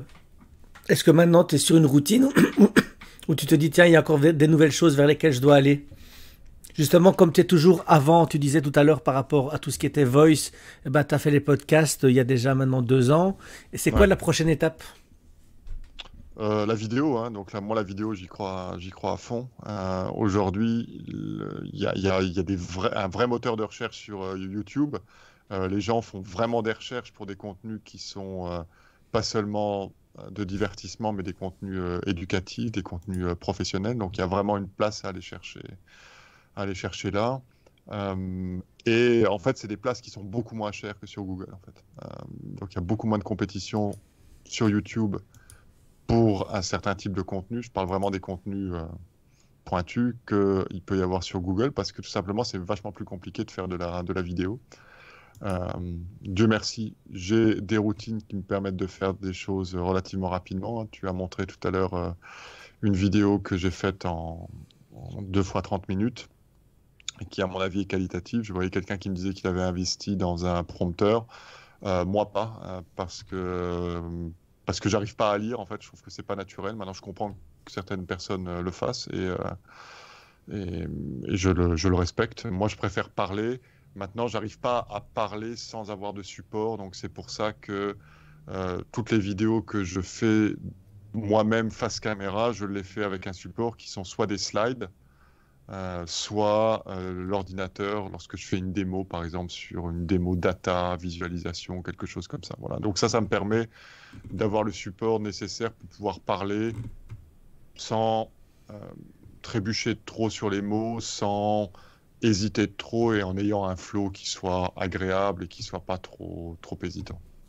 Et tiens, je, je, je, suis sur ta chaîne YouTube, tu dis que tu fais une vidéo par jour, mais elles sont où tes vidéos? Elles sont toutes sur YouTube ou ailleurs? Elles sont toutes, euh, toutes dans YouTube, ouais. Parce que quand je vois tes dernières productions, euh, on est euh, les vidéos il y a un mois, il y en a, enfin, je sais pas, ah oui, c'est une par jour, jour ouvrable? Ouais, jour ouvrable, hein, jour ouvrable. Ouais. J'aimerais bien en faire plus, mais là, non, en fait, si tu regardes dans, dans vidéo, je, je, vais regarder avec toi. Non, c'est ça, mais si on est à, à 5 jours, oui, c'est ça. Enfin, quoi que. J'en ai publié, euh, voilà, j'en ai publié une il y a 4 jours, il y a 4 jours, il y a 5 jours, il y a 6 jours. Euh, ouais, donc j'ai dit que c'était. J'ai eu la semaine d'avant, j'en ai publié euh, beaucoup plus. bon, voilà, ce que, ce que je dis, c'est que le, but, c'est effectivement une par jour. là, en fait, lorsque je fais un podcast de, de 20-30 minutes, j'en retire, un podcast vidéo, j'en retire 4-5 capsules. C'est ça. Voilà, et donc ça permet, si j'arrive à, à tenir le rythme, en fait, c'est vraiment ça, c'est qu'il faut toujours trouver des invités. Et euh, lorsqu'il y a un creux, c'est parce que j'ai juste pas d'invité. Donc je peux pas, je peux pas inviter. Euh, je peux pas inviter n'importe qui. Hein. C'est bien, Tanguy est parfait, la bonne transition. Tiens, les chaînes Twitch finiront-elles par être référencées dans Google?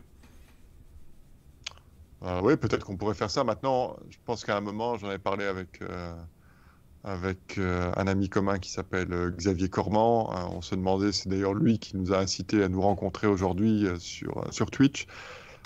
Moi, je pense que Twitch, c'est un média qui est sympathique. Maintenant, ça ne répond pas à mes impératifs de qualité pour mettre sur, sur Google, puisque, pardon, sur YouTube, puisque moi, je ne veux que de, de l'HD ou 4K et je ne veux que des vidéos qui soient montées. Or, euh, lorsqu'on fait un live, ben, bon, on ne peut pas avoir la même qualité, la même fluidité.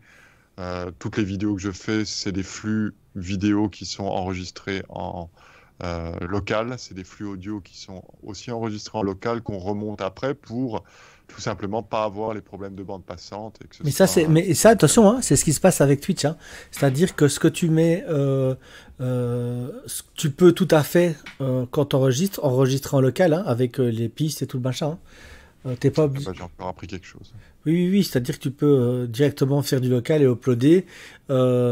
tu peux, en fait, ce que font la plupart des streamers, eux, c'est que soit certains mettent tout comme ça, mais sinon beaucoup, euh, ceux qui ont, à partir du moment où tu as, où as les moyens de le faire, c'est que ça remonte, évidemment, si tu fais un stream de 2h30, euh, ils en sortent quelque chose de, plus propre, de, de monter, donc oui, oui, mm. les, les, deux vont ensemble, hein. c'est pour la plupart des streamers, ça c'est une étape que j'aimerais bien, euh, quelque part, avoir à, un moment, c'est de pouvoir faire des remontages courts, parfois, parfois 10 minutes suffisent, parfois 30 minutes, peu importe, mais voilà.